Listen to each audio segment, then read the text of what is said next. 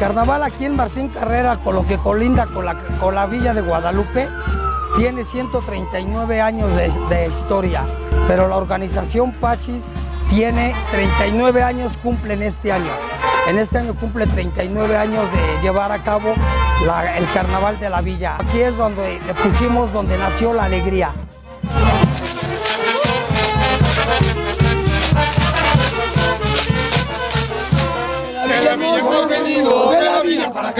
A cantar grandes tornenas como las que allá.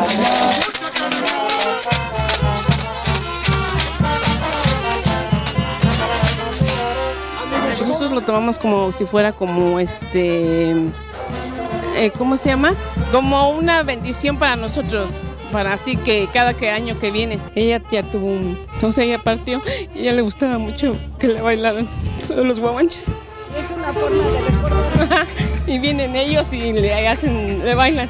A ella cuando estuvo muy enferma, este, nada más quiso y nos dieron permiso los doctores de sacarla para que vinieran los guaguanches a bailarla. Porque ya de ella no salió del hospital.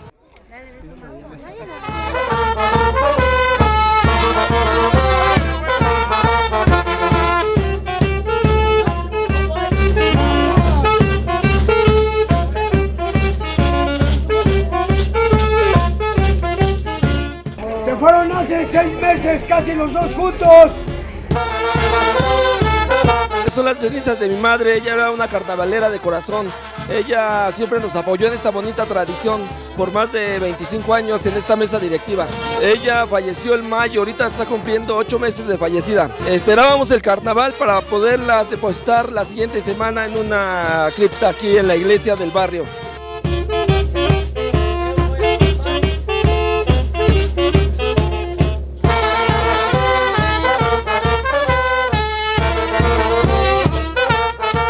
El carnaval de los guaguanches surgió porque aquí en este barrio había un viejito, un viejito muy pobre pero con cara muy fina, de barba abundante, parecida a esta, de barba abundante, de barba de cerda de caballo, de barba de cerda de caballo.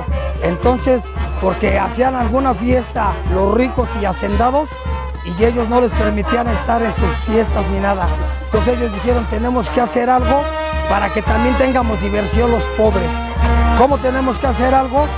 Similaron a hacer una máscara parecida a la del señor que era el líder de este, de este barrio. Todos representamos con esta máscara al líder. Al líder, o sea que somos todos, pero el principal soy yo, porque por eso fue, hoy en este año cumplo 11 años disfrazándome de guaguanche blanco, de guaguanche blanco. Aquí nosotros tratamos de levantar el carnaval, porque antes no se usaban vestidos de quinceañeras, no se usaban, eran, eran, eran faldas zamponas y con eso y con pañoleta. Entonces nosotros le vamos dando realce al carnaval, pero aquí el que lo califica, el mejor juez para nosotros es la gente.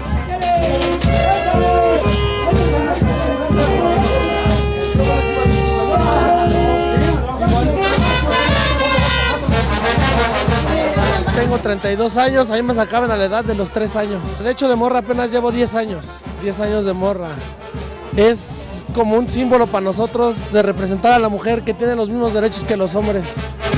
Que, no, que aquí todos somos iguales, hombres y mujeres. Es por eso la vestimenta de morra. Desde como por noviembre ya empieza, le llamamos nosotros a oler a carnaval. Ya huele a carnaval. Luego, luego me ven a mí los vecinos, los niños, como saben que soy el representante, me empiezan a decir luego, luego, oye, ¿cuándo empieza? No, pues ya todos saben en el calendario de antemano, ya saben cuándo empieza este el carnaval. Cuatro días del miércoles de ceniza, lo primero que hacen no es para ver su cumpleaños, sino para ver cuándo es el carnaval de la villa. Nosotros siempre hemos luchado porque esto sea familiar. Toda la organización hacemos- el esfuerzo porque sea familiar todo este, todo este carnaval. Hasta que Dios quiera que se pueda, todavía seguiremos aquí. Mantener viva esa tradición del carnaval viene de generación en generación, como usted me lo acaba de preguntar. ¿Por qué? Porque ya tiene muchos años esta historia. Entonces es para ir anunciando la cuaresma que ya se viene el miércoles de ceniza.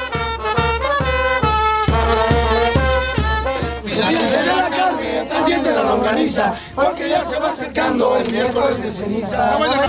Esto no digo más, adiós, adiós que nos vamos. Mis compañeros y yo todos besamos sus manos.